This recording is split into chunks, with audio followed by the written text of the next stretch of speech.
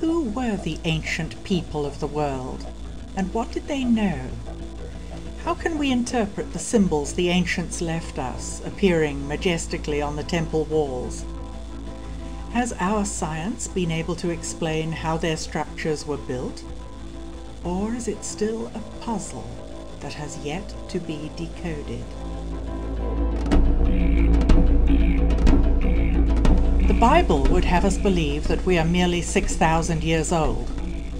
Yet geological, archaeological, anthropological, linguistic, and climatological evidence around the world tells a very different story. Could it be that the civilization of ancient Egypt is much, much older than 5,000 years, as traditional Egyptology tells us? Egyptians themselves, in at least one stone tablet and one papyrus, tell the story that ancient Egypt is much, much older than the Egyptologists think it is. To me as a geologist, it's unquestionable that the chronology has to be redone. I think that all ancient cultures were very interested in the cycles of time and astronomy and how uh, human beings are embedded in these cycles. So there's certain things in common that they all seem to know, and we don't know it. And I think our science now, right now, is just beginning to relearn it. We find megalithic sites everywhere around the world. Overwhelmingly, these places, the pyramids, the Stonehenges, were placed on ground where an unusual type of geology naturally concentrates the regular daily electromagnetic fluctuations that occur everywhere on the earth each day. Traditional Egyptology repeatedly tells a story that the pyramids were built around 2500 BC as tombs for pharaohs, yet no mummies have ever been found in any pyramid in Egypt. Could it be that the pyramids were not tombs? And if not, what function did they have? All of those concepts about it being a, a tomb are, are nonsense.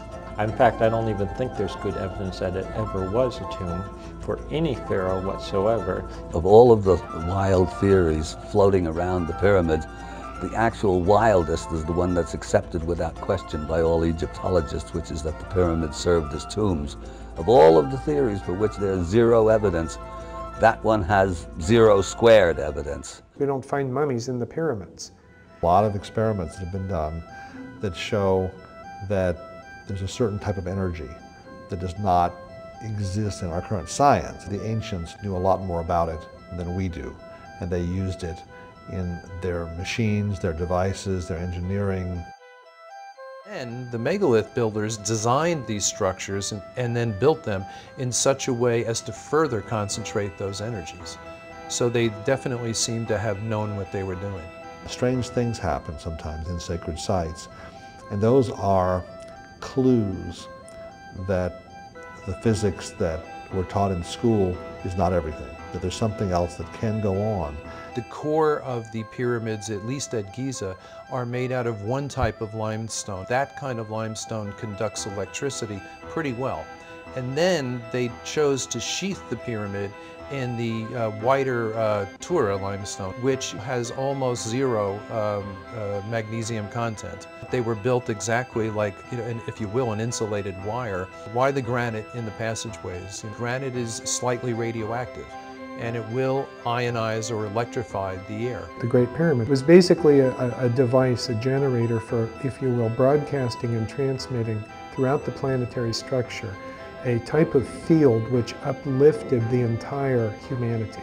They were intended actually to somehow or another spiritualize a whole civilization. In other words, to provide a widespread, high level of energy that people needed because a descending age was upon them. Many traditions around the world recognize this large cycle of time. They think of it as a great period of, of collective human spiritual gestation. The myth of progress, also known as the Darwinian delusion, states that humanity has been steadily evolving, leading us to believe that today we are the most technologically advanced we've ever been. Yet evidence from megalithic sites demonstrate sophisticated knowledge of high-level technology, subtle earth energy, and astronomy marking extended cycles of time. Could it be that the ancients were actually more advanced than we are today? And it's somewhat counterintuitive to what we've learned in our own Western education that it's referred to as the myth of progress, that human beings today are in all ways superior to human beings that came before. It's simply not true. What we refer to as history that began some 6,000 years ago is really the advent of a, a different style of social organization that's typified by the dominator mode, hierarchies of dominance, you know, warring deities, warring mythologies, and control systems. It eventually declined, and then when that happened, the whole idea of the schools of mystery and the ancient knowledges and preserving those traditions that had come down from those fabulous ages, that was lost. And then eventually it was ridiculed, and then finally it had to go underground because people would, would either actively burn those texts or, you know, persecute the people who, who had that belief system. And I think at that point, we were in the Dark Ages. Hakim Awyan is an indigenous wisdom keeper who has spent his life at the foot of the Sphinx in the shadow of the pyramids. A trained archaeologist of 53 years, Hakim has made a bridge between ancient knowledge, passed down from generation to generation, and fieldwork around the pyramids.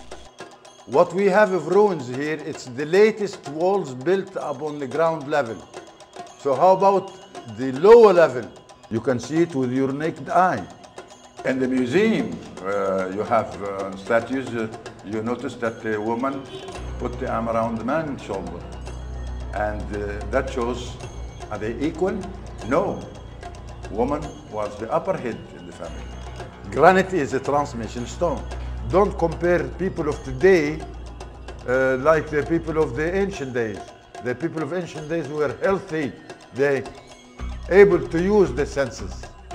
The power we get from the pyramid is to use, energize our glands and, and, and uh, organs. And the Pyramid Code explores the gap between modern science and ancient science through interviews with recognized scientists exploring new theories about the sophisticated technology of the ancient Egyptians and its place in the distant past. You come to tentative conclusions. If more data comes in that seems to indicate something else, I don't ever want to be afraid to um, change my conclusion. It's not fair also. It's not fair to deny what you can see and touch by your own hands. It's like uh, great art or great um, spiritual insight, expansion of consciousness. In a way, there's nothing more important than that. Um, and I think that was one of the primary functions of um, structures like the Great Pyramid. It's good for healthy life, to keep life healthy. Perhaps our science is ready to rediscover the secrets of the ancients. Perhaps we can now crack the Pyramid Code.